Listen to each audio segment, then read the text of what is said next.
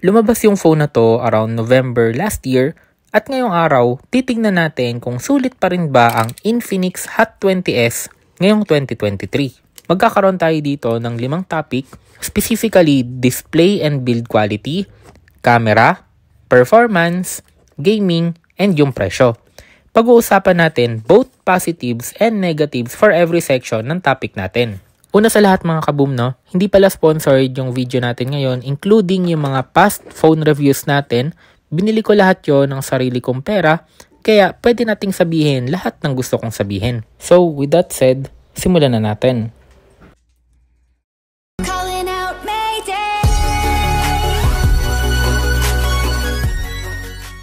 Unahin natin yung display. Meron tayo ditong 6.78 inch 1080 by 2460 resolution IPS LCD na display.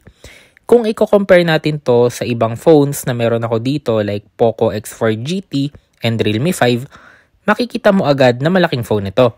Kaya kung mahilig ka manood ng movie, YouTube, or maglaro ng games, matutuwa ka dito maliban na lang pag maliit yung kamay mo.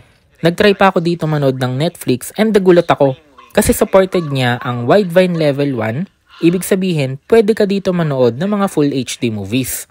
Dagdag pa natin dito ang 120Hz refresh rate which is mapapansin nyo, smooth ang pag scroll natin sa home screen. May enjoy nyo din ang pagbabrowse sa social media apps kagaya ng Facebook and paglalaro ng games na supported ang higher than 60Hz na refresh rate. Now, punta tayo sa negatives. Una is parang hindi optimize yung kanyang refresh rate Napansin ko to nung unang nagbabrowse ako sa Facebook. Minding na 120Hz ang refresh rate niya pero pakiramdam ko parang 90Hz lang. So tinry ko na lang i-check sa test UFO and sa device test kung tama ba yung hinala ko and tama nga. Nag-a-appear lang doon is 90Hz. Tinry ko baguhin sa settings yung kanyang refresh rate from smart tapos finurse ko to 120Hz pero still ganun pa din yung nangyayari. So sana ma-fix to ng Infinix sa future updates. Pagdating naman mga kaboom sa build, yung front niya is meron siyang glass. Hindi ko lang alam or hindi ako sure kung anong specific glass yung ginamit dito. Pero ang maganda is meron din siyang pre-installed na screen protector. So yung likod niya saka yung gilid niya is gawa lang sa plastic. Hindi siya ganun ka fingerprint magnet although meron pa din konti. Sa taas makikita nyo malinis lang walang kahit anong button or speaker. Right side naman, nandito yung kanyang power button na fingerprint scanner, tapos yung kanyang volume rockers. Left side naman is nandito yung kanyang SIM card tray na dual nano SIM at meron ding micro SD card slot. Sa baba naman na dito yung headphone jack, may medyo kakaiba din yung kanyang camera design. So pakiramdam ko para siyang si Wall-E pag nakagilid. Ngayon pagdating dito sa performance, isasama ko dito yung benchmark score nila tapos yung data and connectivity. Yung chipset na meron dito is MediaTek Helio G96 which is a gaming-based processor, 8 plus 5 GB RAM na naka 128 GB na storage and naka Android 12 na din. Nakakuha tayo ng 335,460 points sa Antutu benchmark which is okay lang, not the best pero definitely not the worst para sa price bracket niya sa 3D bench naman is nakakuha tayo ng 99.4% stability. To compare lang no sa first time na nakakuha ko ng Poco X4 GT, yung benchmark score niya is nasa 58% lang yung stability. Pero sa latest update naman ng Poco X4 GT naging okay siya, yun nga lang umiinit yung phone. Meron din tayo ditong 5000 mAh na battery na supported hanggang 18 watts of fast charging sa PC Mark, nakakuha tayo ng average of 9 hours and 33 minutes. Not that impressive considering na 5,000 mAh siya. Pero medyo power hungry kasi yung kanyang uh, Helio processor unlike sa chipsets ng Snapdragon. Supposedly, aabot dapat to ng more or less siguro 13 hours. Pero sadly dito sa Infinix, hanggang 9 hours lang yung ating SOT. Para lang sa knowledge ng mga ilan sa mga competitive gamer sa inyo, kaya niya hanggang 120Hz na touch sampling rate. Yun nga lang no mga kaboom, kagaya ng ibang Infinix phones is hanggang 5 lang yung supported niyang multi-touch na nakakapagtaka lang kasi hindi pa nila na-improve.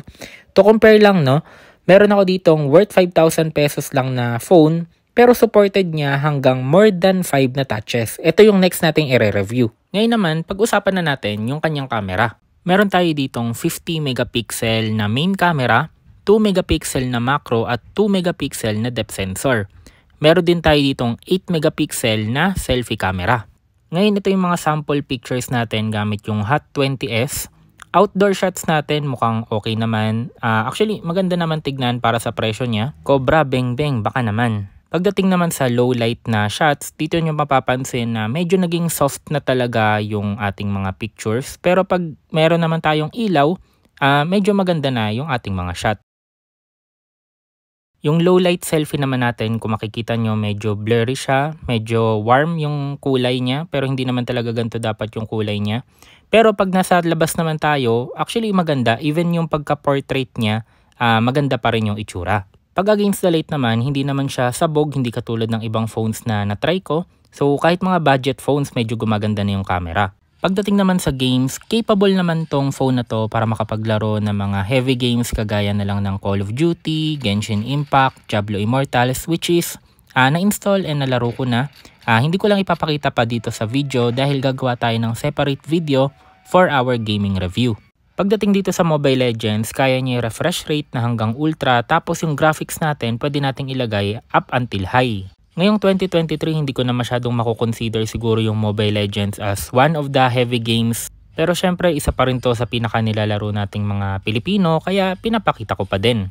Sa Call of Duty naman, meron siyang graphic quality na hanggang medium, tapos yung frame rate natin pwede nating ilagay hanggang high. Siguro ang pinakamasasabi ko lang dito kung gamer ka is kung mahilig ka sa malaking screen na phone na capable sa mga heavy games, tapos below 10,000 lang yung presyo, isa siguro yung Infinix sa masasuggest ko sa'yo. Actually mga kabum to be honest, mapatakbo mo lang yung Genshin Impact ng low or lowest ng around 40 to 60 FPS. Proof na yon na capable yung phone mo na malaro almost lahat ng games na available sa Google Play Store. Pero syempre hindi lahat is perfect dito. Isa sa pinaka-negative na nakita ko dito is yung kanyang temperature. So nagtry ako Mobile Legends, tinest ko yung temperature niya. 26.4 yung ating starting temperature. Tapos after ng isang game, umabot na siya ng 34.8 degrees Celsius which is medyo normal pa, okay pa yan. Pero nung tinry ko maglaro ng Genshin Impact, nag-start ulit ako dito ng around 28.6 degrees Celsius lang kasi pinahinga ko yung phone. Naglaro ako around 15 minutes which is dun ko na napapansin na medyo umiinit yung phone na to. Pero given na yun kasi syempre budget phone lang naman to at the same time naka MediaTek uh, chipset tayo dito. And umabot nga tayo dito ng 40 degrees Celsius na temperature. So one thing niya na gusto ko mabanggit sa inyo na kaya pala siya Hot 20S kasi umiinit. Kidding aside, sabi ko nga kanina, medyo expect ko na na ganito yung magiging performance niya since naka MediaTek processor tayo tapos entry level phone pa. Pero one thing to na pwede nyong tignan if plano mo tong bilhin tapos heavy gamer ka. Ngayon pag-usapan natin yung kanyang presyo which is 8,499 pesos para sa base 8128 na variant. Para sa akin mga kaboom, sakto lang siya. Uh, para sa specs na meron tong Infinix Hot 20S, yung ibang brand siguro, uh, tataasan pa nila yung presyo, siguro mga around 10k to 15k yung gagawin nila, depende sa company. May mga negative man dito sa Infinix Hot 20S, pero kung iisipin natin para sa presyo niya and yung mga positives na meron siya, ma-outweight pa rin niya yung kanyang mga negative. Kayo, anong masasabi nyo about dito sa Infinix Hot 20S? Comment down below.